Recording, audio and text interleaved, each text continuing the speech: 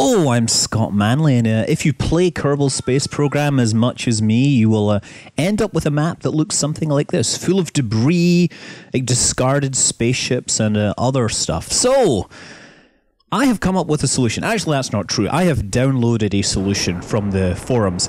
A solution which is a little more interesting than going in and deleting my persistence file.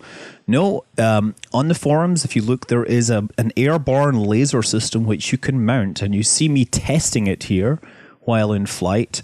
You press the zero key on the keypad and it will fire it. Uh, the keypad also controls it in various other ways. Of course, we're just getting this up into orbit and we'll uh, test it uh, after we do stage separation here, which will happen just about now. So now, uh, if I press the 7 key, I can uh, target things and then hold 0 to uh, fire it. Now, you see that the lasers heat up very quickly.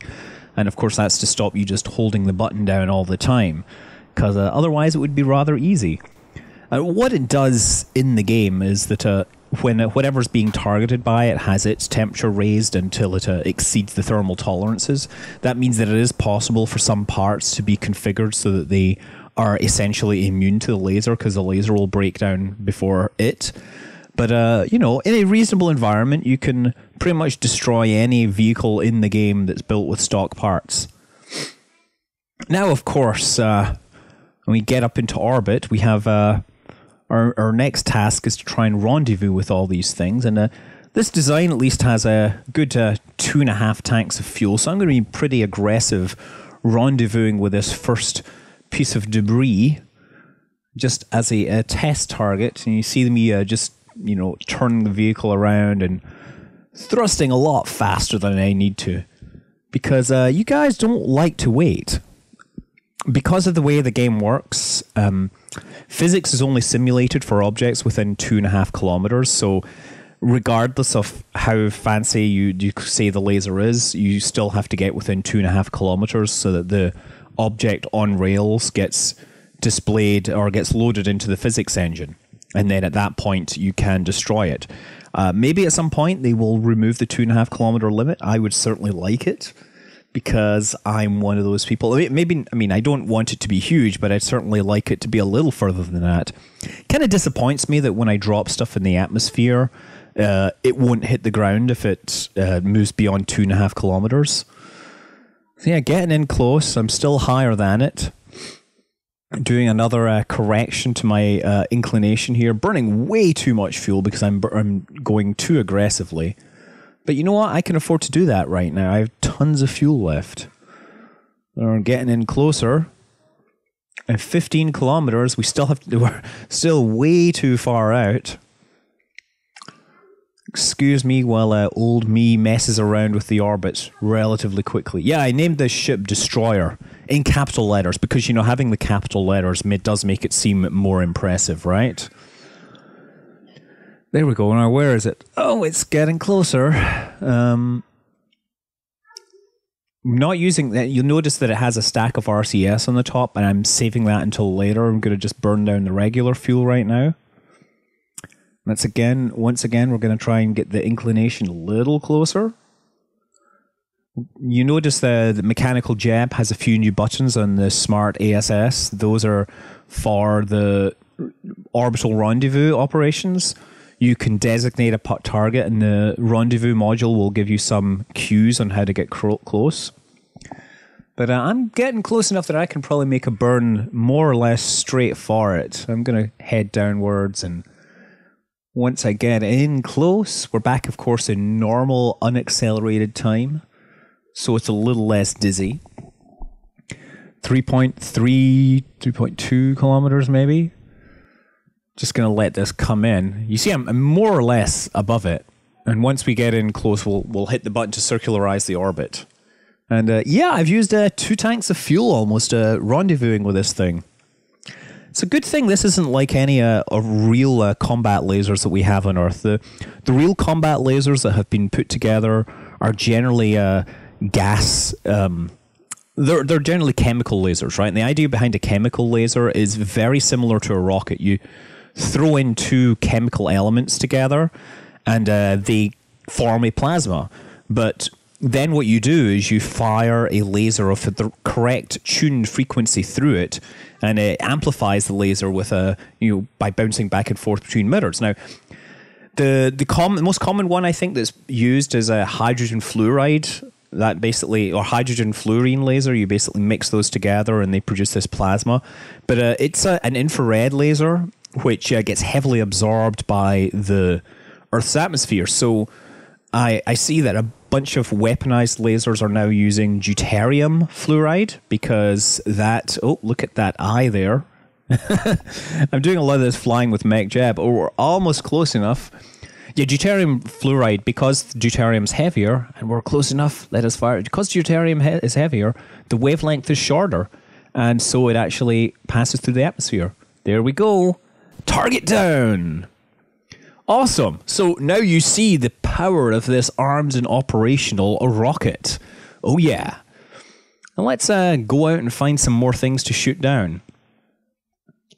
So uh, now we're getting, they're about nine kilometers out. Just trying to get close to this item. The previous one was a leftover space probe, which um, it's kind of pointless that I shut it down because, of course, I could have just flown it back into the atmosphere using the autopilot. But, you know, we needed to shoot it down for science. It's very important being able to shoot things down for science. So, coming in closer, again, another piece of debris from this uh, test uh, vehicle, which we launched. I, I actually used the interplanetary transfer vehicle because if you remember, it had like eight space probes and it had um, a rocket. It had the lander on top and it had fuel tanks. So I had, plenty of stuff left over from that. So there we are. We are in range. Let's uh, target it. Let's take a look and see what we're about to shoot down. Oh, yeah, it's the little RCS stack. So watch it. Bang. One of the interesting things to notice, and it'd be nice if they would fix this, is that the explosions uh, are traveling at zero. They, they, they basically are stops. When you're traveling at two kilometers per second, the explosions shoot off backwards and you don't get to see them fully develop. I think explosions should kind of follow physics depending upon where they are. Okay, so um, we're going to try and hook up with these this next one. And that'll just take a bit of a moment. Again, we're Oh yeah. Um, so we run out of fuel, and uh, what better opportunity since these things are closer? I can demonstrate that I don't just need to. Uh, I can use. I can use a direct control over these lasers to actually try and shoot this. Now, instead of locking onto the item using the seven key, I can use you know eight, four, five, six, and rotate these manually. So let's try and uh, manually turn it and shoot this uh, thing. There we go. Unfortunately, because of the way they're mounted, they rotate independently. Um, just going to try and adjust it, see if I can get it on top. Oh, oh, oh man. If this was combat, I would be dead But Oh, there we go. Almost, almost. Yeah, you see it just creates like a plasma cloud and then the thing overheats and explodes. So we have uh, four pieces of rocket here to destroy. Again, I can't fire continuously because I will overheat and then I will be without a laser. Almost. Just pulsing it here. Okay, just destroy the engine. See, it is possible to control these things manually. And then uh, one last piece. Almost. It's pretty good considering I have absolutely no sighting or control over any any cues on how to aim this thing. Okay, so now that we've dumped the tank, we're on RCS, and I'm getting a little more delicate with my maneuvering. Uh, you know, with a with a full RCS setup and a patience, which uh, I don't have, you could probably take down everything in these orbits. I don't think there's anything particularly uh, difficult about their their distribution of orbits. It just comes down to the fact that it takes a really long time, and I'm trying to make a video and get it out as quickly as possible. So there we are. We're almost like two and a half kilometers. We should be in range to start targeting this thing momentarily. And then soon it shall die. 2.4 kilometers. There we go. And uh, that basically indicates that we've locked on, but we are not in range. Oh, there we go. It seems to have a lock on. In this case, it is a spent fuel tank. So this one, I legitimately could not have flown back to the surface.